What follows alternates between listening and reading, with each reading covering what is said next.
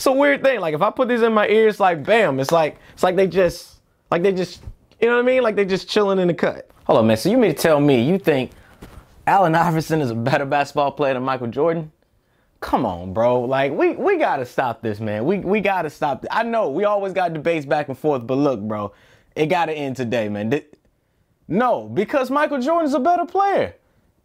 All right. Anyway, man, we gonna be here all night. I got something I gotta do. Yo, no, we definitely gonna continue the conversation, but I got something I gotta do though. I, I'll get at you later though. All right, all right, peace. Ah, crazy. Let's see here.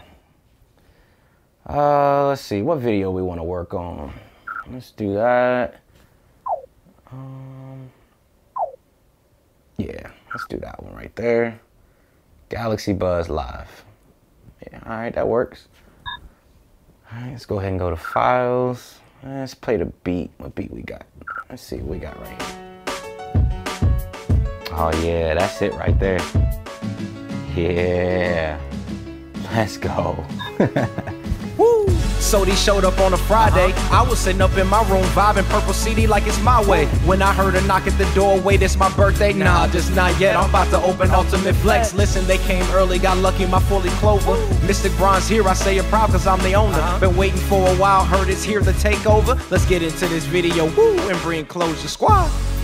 What up, y'all? Welcome back. C-Kid Tech here, man. If this is your first time on the channel, welcome. This is a channel where I like to talk as well as rap about all things tech, baby, just like you heard in the intro of this video. So if that is something y'all are interested in, then definitely, definitely make sure you guys go ahead, click on that like button down below, as well as go ahead and click on that subscribe button. Why? Because your boy is out here bringing bangers every single week. What are we talking about in today's video, y'all? So today, man, I am hype, I'm hype, I'm hype to talk about the Samsung Galaxy Buds Live and give you guys my thoughts on how I feel about them and my feeling towards them is positive and negative, but let me tell you guys why. Now, I'm going to start this video off off being positive because, you know, that's just the type of person I am. I like being positive when it comes to talking about products and different things like that. But don't get me wrong. Don't go away because there's definitely some negative things about the Samsung Galaxy Buds Live, and uh, we're gonna talk about that in this video. All right, y'all, so we're gonna be breaking this video down into these topics right here. Now, there is a lot that I actually wanna get into and talk about that I have experienced with these over the last few days, good and bad. Now, I was actually gonna release a video, man, where I was gonna just do a quick little unboxing just to show you guys the product and all of that, but I was like, you know what, let me just wait a little bit, and I decided to go ahead and give it the proper C-Kid test and give you guys my real, honest opinion about these Galaxy Buds Live. No biased in this review at all, uh, just like I do in all of my other videos. But uh, we got a lot to talk about in this video with the good, bad, as well as the ugly. Now, things I like, starting with the hands-on look and design of the Buds Live, as well as the case in itself. Now, when I was actually looking at renders and photos online, it looked as if the case was actually going to be a whole lot larger than what it actually appears to be. Now, the Apple PowerBeats Pro, which you guys already know, has the same style clamshell case, and I'm just not a fan of that just for numerous amounts of reasons. If you guys want to check that video, I, I will link that down in the description section below. But actually having the Buds Live in hands, the case is actually actually the perfect size. I gotta be honest with y'all.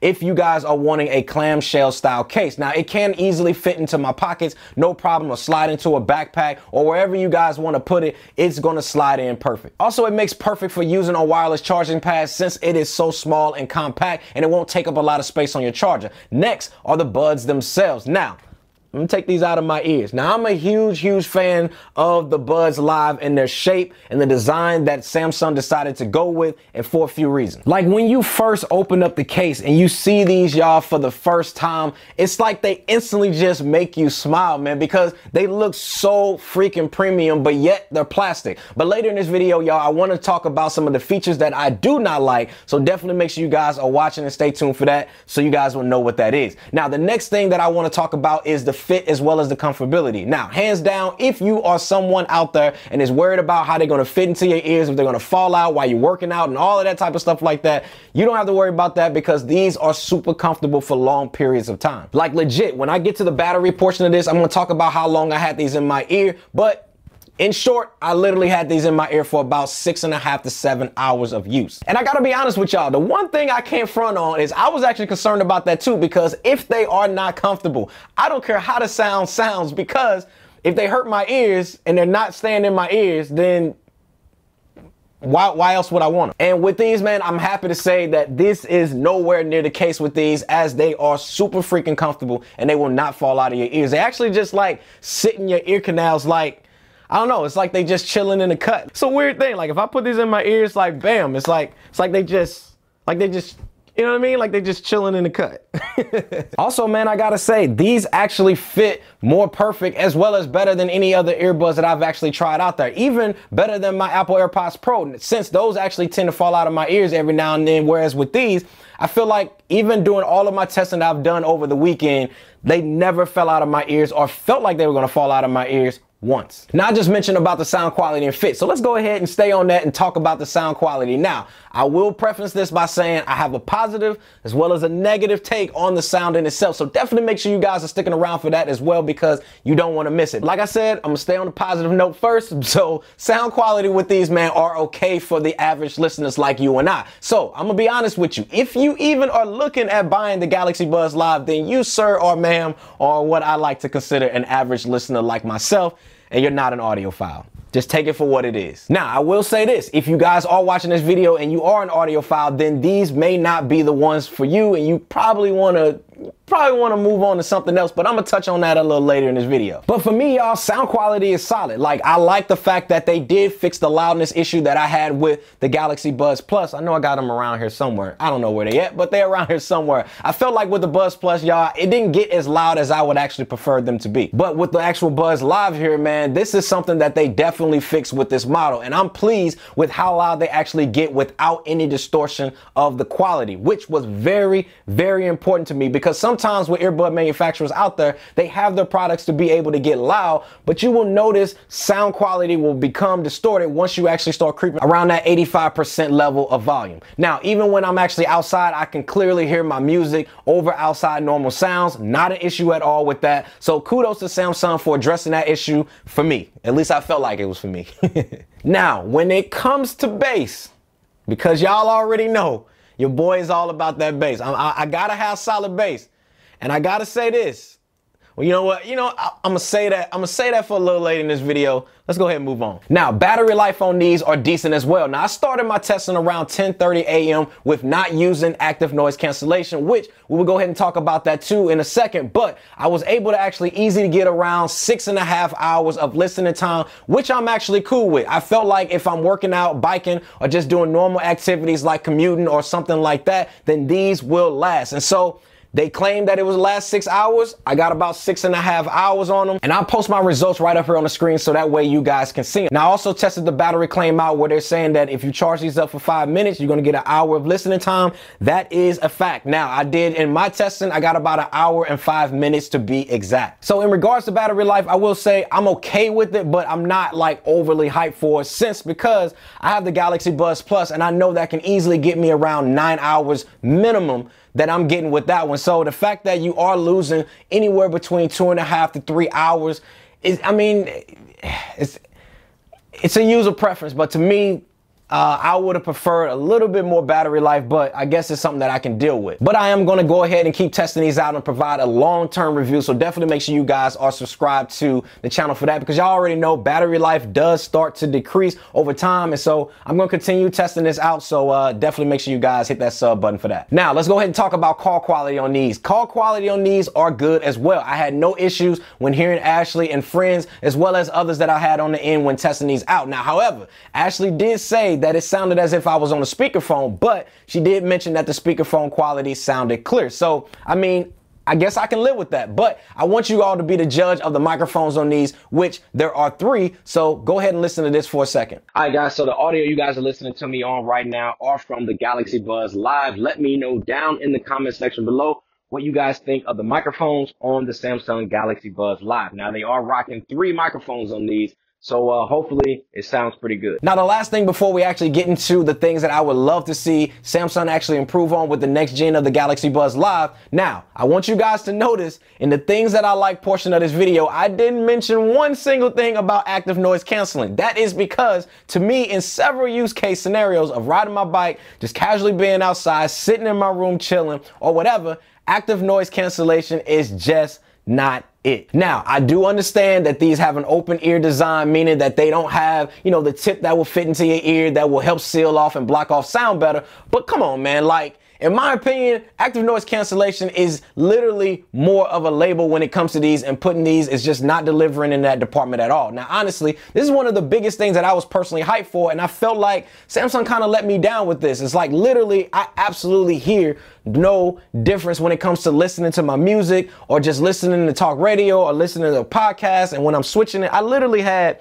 this fan, I don't know if you guys can see it, but I got a fan that's like right over here. I literally had this fan on. I had music playing over here, like background sounds of like coffee shop sounds, just to see if it would drown out just a little bit of it. Like, and it didn't drown out it didn't drown out anything to me. Now, again, all ears I understand are not created equal, but if somebody is out there telling you that they hear a difference with this active noise canceling turn on and off, I'm telling y'all now, they capping. Now, plain and simple, listen to me, y'all. Do not buy these if you are expecting an AirPods Pro level of active noise cancellation because you're just not getting that. And I honestly feel like the Samsung Galaxy Buds Plus almost seals off noise around you, like passive noise that's around you, way better than having the active noise cancellation turned on on these. I don't know. But don't believe me, y'all. I always say buy them for yourselves, test them out. But you know, I said what I said. I'm moving on. Now, I talked about sound quality earlier in this video in the things that I like. Now, this is still true. However, I do wish that Samsung could have given us more bass when it actually came to adding the bass ducts to these. Now, my thinking is that they added those to compensate for the open ear design of these. So that way, at least the bass levels are somewhat or on par with the Galaxy Buds Plus, which is true. Now, for me, I was actually hoping that they would actually address the bass level issues that I had with the Galaxy Buds Plus, but it seems like the bass levels are literally the same. So if you are someone like me that was hoping for an increase in bass levels, then you might be a little disappointed. But I'm not saying that they're bad. I'm just saying that they're not on par with what I personally require when it comes to listening to my genre of music that I listen to, which is hip hop, R&B, things like that, that tends to lean heavy on bass. But if you're someone out there that listens to a lot of YouTube content, talk radio, podcasts, audible books or, you know, music that just doesn't require a lot of heavy bass, then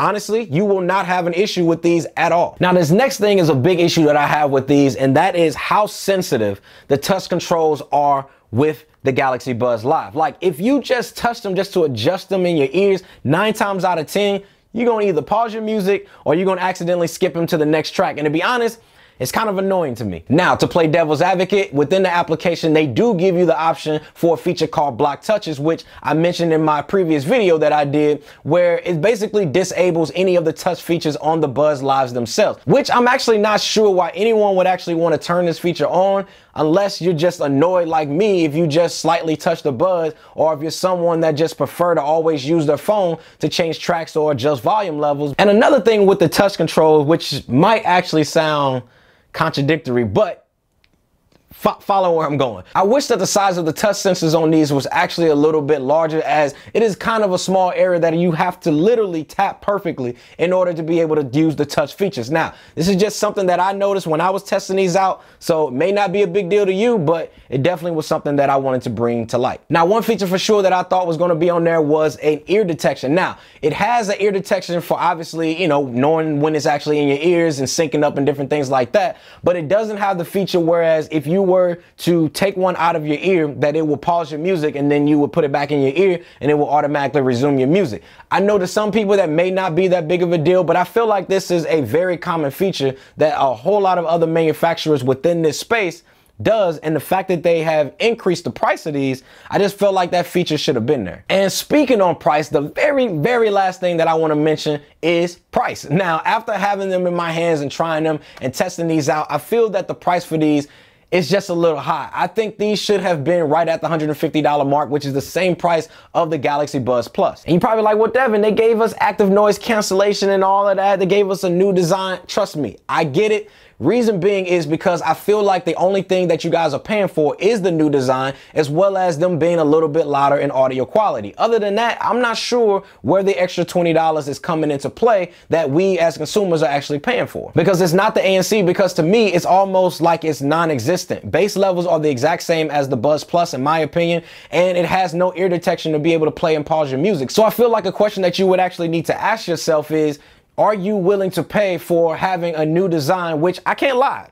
These right here, I freaking love the design and I feel like Everybody, all the other manufacturers need to adapt this design because they are comfortable and I think they look dope. But if you're somebody like me and you already have the Galaxy Buds Plus, is it actually worth the upgrade? Well, if you guys are curious about that or have questions about anything that I've mentioned in this video, then go ahead and let me know down in the comment section below and make sure, make sure you guys go ahead, click on this video right here where I talk about the Galaxy Buds Live versus the Galaxy Buds Plus.